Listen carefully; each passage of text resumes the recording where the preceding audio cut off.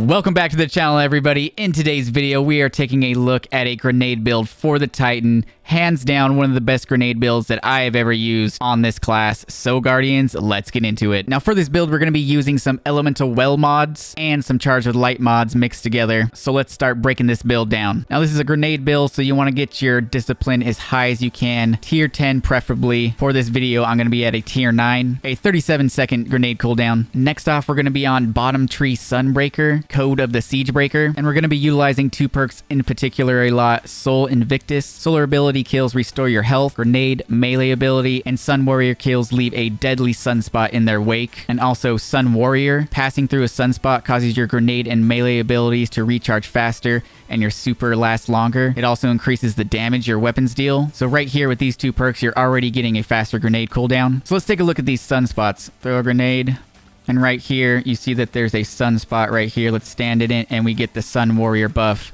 That guy just ran through it and he died too. and the next thing you guys want to equip is your exotic chest armor piece, the Armamentarium. A very simple but very nice exotic to have. All it does is give you another grenade charge. Pretty much a no-brainer for a grenade build. Now let's take a look at some of the mods that I'm using. Now for this build, we want to become charged with light. And the way we're going to do that is Elemental Charge. Become charged with light by picking up an Elemental Well. If the Elemental Well's element type matches your subclass element, you gain two stacks of charged with light. I just said element a lot. And do not forget that the intrinsic perk on these Elemental Well mods is that picking up any Elemental Well grants energy to your ability with the lowest current energy. Picking up an Elemental Well whose element matches your subclass damage type grants energy to all your abilities. So with this mod, we become charged with light and we also gain grenade ability energy. The next mod is Elemental Defeating a combatant with a grenade spawns an elemental well that matches your subclass energy type. So if we go over here, get a grenade kill. You'll see that it dropped an elemental orb right here. That is what it means when it says elemental well. You pick up the orb, you become charged with light.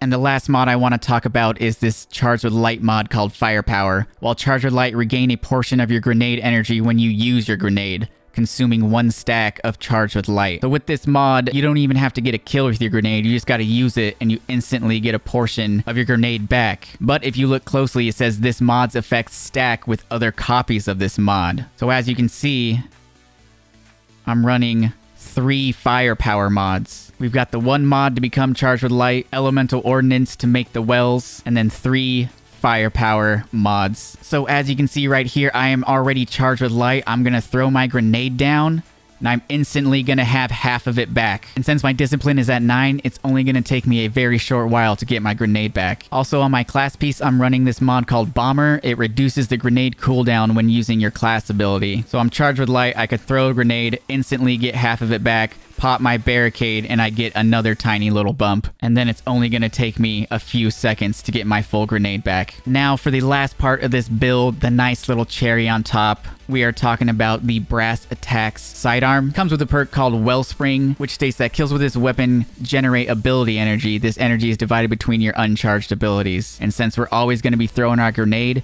we are always going to be getting grenade energy with this thing when we get some kills. So to get this build going, essentially you just need to get one grenade grenade kill, and then the build just starts up.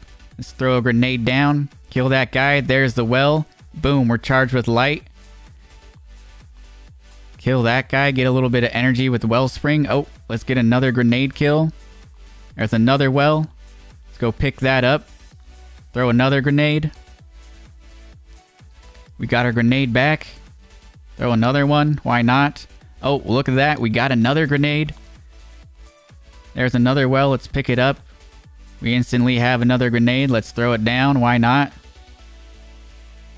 Got another well to spawn right there. We have another grenade already. Why throw it? Let's try, maybe get a sidearm kill. This is a this is a first person shooter and essentially you can pretty much just keep this going as long as the ads are are here. If you ever run out of your grenade, just get some kills with the sidearm. Pop your barricade, get a little bit more grenade energy. This is by far the best grenade build that I've ever used on a Titan. And that is pretty much going to do it for the build. If you guys found this helpful, don't forget to leave a like. If you guys are new around here, need more Destiny 2 in your life, don't forget to subscribe to the channel. If you guys want to hang out with me more, don't forget to follow me over at twitch.tv slash paid to be famous. And I'll catch you Guardians in the next video. Peace.